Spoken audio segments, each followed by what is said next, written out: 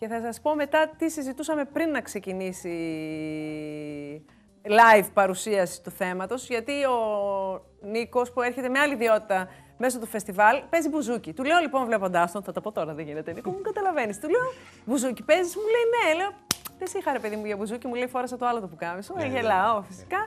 Του λέω κοίτα να δεις πόσο στερεοτυπικά έχουμε μάθει να σκεφτόμαστε. Μου έκανες και κάτι άλλο.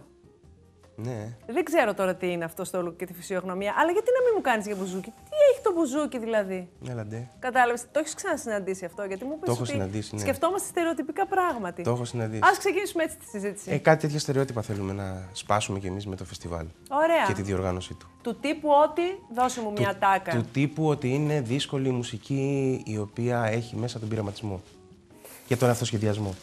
Δύσκολη από πλευράς των ε, μουσικών ή από πλευράς των ακροατών; Από πλευράς των ακροατών. Για τους μουσικούς είναι συνήθως το ζητούμενο. Κοίτα τώρα, θα σου μιλήσω σαν ακροάτρια Ναι. και όχι σαν δημοσιογράφος.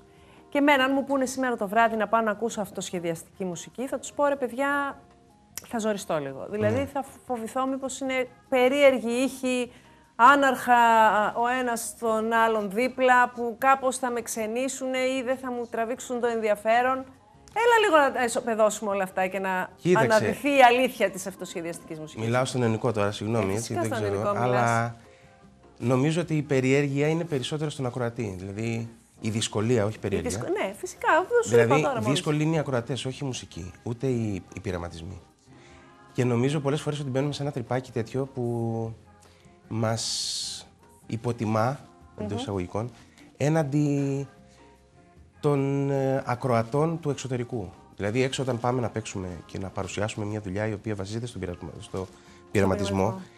πολλές φορές προτείνοντας διαφορετικά πράγματα με τα παραδοσιακά όργανα, κάτι το οποίο είναι πάρα πολύ διαδεδομένο στο εξωτερικό, στην Ελλάδα το βλέπουμε λίγο κάτι σαν να μην μας ενδιαφέρει. Είμαστε λίγο επιφυλακτικοί, ρε παιδί μου, γιατί ίσως τα Σε- προηγούμενα σερβιρο... ε, τα προηγούμενα... οι προηγούμενες απόπειρες να μην ήταν τόσο επιτυχημένες και είναι αυτό που ξέρεις. Άμα καείς το χυλό που φυσά και το γεώργιο μετά. Σωστά. Κατάλαβες, δηλαδή. Σωστά. Δεν ξέρεις να Υπάρχει περιμένεις. αυτή η άποψη, σωστή είναι. Υπάρχουν και άλλες απόψεις μετά, βέβαια, αλλά νομίζω ότι αυτό που βιώνουμε στη, στο εξωτερικό, όσοι βγαίνουμε να παίξουμε ως μουσική και μιλάω με αυτή την ιδιότητά μου. Και αυτό πάμε να ξεκινήσουμε τώρα εδώ. Ε, είναι ότι αυ- υπάρχει καταρχάς μια αποδοχή Οκ. και μια ε, αγκαλιά για αυτό που πάμε να κάνουμε. Πειραματίζονται οι άνθρωποι, ρε παιδί μου, και τους αρέσει να ακούνε κάτι Ναι. διαφορετικό και δεν θα σε κοιτάξουν με περιέργεια. Και... Έρχονται, έρχονται και παιδιά στις συναυλίες και βλέπουν τις συναυλίες και έρχονται μετά και μας ευχαριστούν, ευχαριστούν τους καλλιτέχνες, τους μουσικούς. Και είναι πολύ σημαντικό αυτό. Στην Ελλάδα αυτό το υποτιμάμε όταν είναι εγχώριο. Όταν έρχεται απ' έξω, το κοιτάμε με μια Στα έγκλη. πάντα συμβαίνει αυτό. Σίγουρα. Στα πάντα, δεν συμβαίνει μόνο στη μουσική σας. Σίγουρα. Παιδιά, συμβαίνει Σίγουρα. στα πάντα. Στις μπλούζες, στα ρούχα, στα φαγητά, στις, Σωστά. ε, σε οποιαδήποτε κατηγορία. Αυτό είναι άλλο. Αυτό είναι άλλο. Σωστά, Το σωστά. κομμάτι, ας το απομονώσουμε. Απλά επειδή η μουσική έχει να κάνει με την τέχνη και όχι με το προϊόν, Ναι. έχει, έχει μια διαφορά. Και οι ταμπέλες που βάζουμε, και το ζητούμενο είναι να φύγουν οι ταμπέλες, ότι αυτό είναι έντεχνο, άτεχνο, εμπορικό, μη εμπορικό, πειραματικό, mainstream και όλα αυτά. Όλα αυτά είναι για να μπορέσει να προωθηθεί ένα προϊόν, το οποίο δεν έχει σχέση με την τέχνη. Κοίτα. Τώρα έρχομαι και λέω δύσκολα πράγματα. Θα Όχι, πρέπει δεν να παρουσιάσω λες λίγο δύσκολα πράγματα. Δεν λες δύσκολα τις πράγματα. συναυλίες, τι τέσσερις που έχουμε μπροστά μας. Αλλά ο, ο, η, δ- η ιδέα πίσω από, αυτή, από αυτές τις συναυλίες και από αυτό το φεστιβάλ που ξεκινάει σήμερα είναι αυτό ακριβώς το σπάσιμο των ορίων Ναι. και το σπάσιμο των στεγανών. Α πούμε το μπουζούκι δίπλα στη λέξη αυτοσχεδιασμός δεν θα το σκεφτόμουν ποτέ. Και όμως η λέξη ταξίμι, που είναι κατά κόρον η λέξη που ακολουθεί το μπουζούκι, όπως και τα παραδοσιακά όργανα, ένα σόλο ή ένα μυρολόι για το κλαρίνο Ναι. ή ένα, ε, ένα σαμανές για τη φωνή, αυτό είναι αυτοσχεδιασμός, ακριβώς. Ε, ναι, αλλά άμα δεν μας τα εξηγήσει κάποιος έτσι όπως μου τα εξηγήσει εσύ τώρα, πώς θα το καταλάβουμε εμείς αυτό και θα το κάνουμε κτήμα μας και μετά; Θα έρθουμε με άλλη οπτική να παρακολουθήσουμε ένα αυτοσχεδιαστικό Ε, αυτό συγκρότημα. είναι. Για πες; Υπάρχει ένα πρόβλημα σε αυτό. Ε, άμα μου γενικά. λέει, ναι. Αλλά και πάλι υπάρχει. Θα, θα σου πω κάτι. Η μουσική, όταν παίζουν στη σκηνή πάνω, είναι ανοιχτά βιβλία. Είναι ανοιχτή η ψυχή τους, είναι ανοιχτή η καρδιά τους, είναι ε, τα χέρια τους εκείνη την ώρα και η ψυχή τους και το είναι τους δουλεύει για τον κόσμο. Αν ο κόσμος το φοβάται αυτό, η μουσική είναι εκεί και το κάνουν. Δηλαδή, αν κάποιος δεν, το- αν κάποιος δεν το βιώσει αυτό το πράγμα και δεν κυνηγήσει πολλές φορές να το βιώσει, είναι σαν να διαβάσει ένα καλό βιβλίο.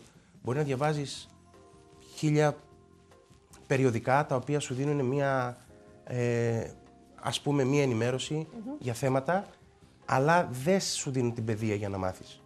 Ναι, καταλαβαίνω τι λες. Αν διαβάσεις ένα καλό βιβλίο, θα καταλάβεις με- μέσα από το περιοδικό και την πληροφορία πολύ περισσότερα πράγματα. Ωραία. Αυτό είναι και ένα βασικό στοιχείο της αυτοσχεδιαστικής μουσικής, η οποία δεν μιλάμε μόνο για αυτοσχεδιαστική μουσική συγκεκριμένη, στο συγκεκριμένο φεστιβάλ βέβαια. Ωραία. Γιατί θα Α. προχωρήσουμε και στο πρόγραμμα κάποια στιγμή, Ναι. όπως καταλαβαίνεις. Ε, στη σαφώς συζήτηση. πρέπει, ναι, εγώ- Πρέπει να πούμε στον κόσμο Και εγώ που γι' το αυτό έχω δείξετε, έρθει, ναι. Γιατί τόση ώρα νομίζω έχω την εντύπωση ότι κάνουμε εισαγωγή. ναι, σωστά. Αλλά θα, περάσ- θα περάσουμε και στο κυρίως μενού, αγαπητοί μου. Έτσι. Περιμένετε λίγο. Έτσι, έτσι. Ναι.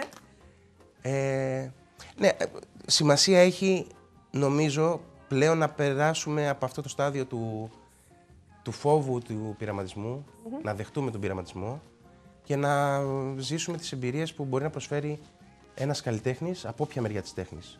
Ωραία, λοιπόν, μετά από αυτή τη συζήτηση που είχαμε, έχετε ακόμα έναν που θα το πήδηξε το χαντάκι. Ωραία, θα τέλεια. είμαι από την άλλη Μακάρι, πλευρά. είναι τεράστιο το κέρδος. Θα αυτό. διαδώσω και το μήνυμα. Τέλεια. Ότι Μακάρι. μπορούμε να παρακολουθούμε όλων των ειδών Ε, στους βέβαια. σχεδιασμούς. Η μουσική είναι εκεί και κάνουν, Ωραία. δίνουν αυτό την είναι. τέχνη τους και την ψυχή τους. Ωραία. Και ποιες είναι λοιπόν οι α, συναυλίες που θα πραγματοποιηθούν στο πλαίσιο. Σήμερα ξεκινάμε με το Θήμιο τον Ατζακά, Ναι. Ο Θήμιος είναι ένας μουσικός ο οποίος ζει εδώ στη Θεσσαλονίκη. Έχει ε, α, μια μεγάλη πορεία στο εξωτερικό και στη μουσική σκηνή του εξωτερικού ε, και παρουσιάζει το, το project του Utopia. Έχει να κάνει με το όργανο που παίζει, που είναι το Ούτι Α, εξού και το Ουτόπια. και το Utopia. Ουτόπια, πολύ ωραίο. Ναι, γιατί είναι Ud το Ούτι στα, στα λατινικά. Ωραία. Ε, σήμερα είναι αυτή η συναυλία. Την Παρασκευή έχουμε τον Σοκράτη τον Συνόπουλο με το κουαρτέτο του. Ο Σοκράτης ο Συνόπουλος είναι ένας από τους σημαντικότερους Έλληνες δεξιοτέχνες μουσικούς με εξαιρετική πορεία επίσης στο εξωτερικό, με φο- φοβερές συνεργασίες. Οι άνθρωποι του χώρου της μουσικής τον ξέρουν και τον εκτιμούν. Δεν είναι... πο- ε, Μόνο ο επόμενος ίσως να είναι γνωστός στον κόσμο.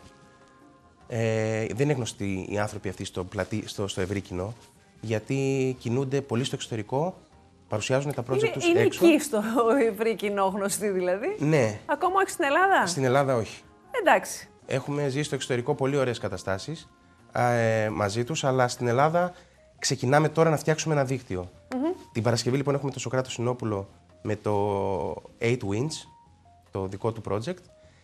Το Σάββατο το βράδυ, όλες οι συναυλίες ξεκινάνε 9 η ώρα.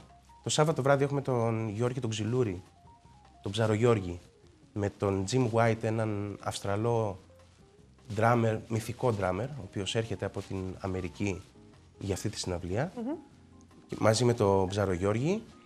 Και το, την Κυριακή το βράδυ έχουμε τη συναυλία του James Wiley.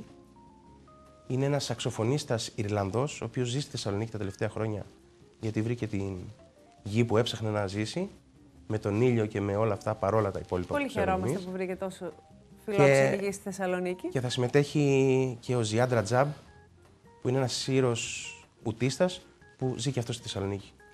Και όλοι αυτοί έχουν ένα πολύ μεγάλο κύκλο ε, συναυλιών και έργου στο εξωτερικό.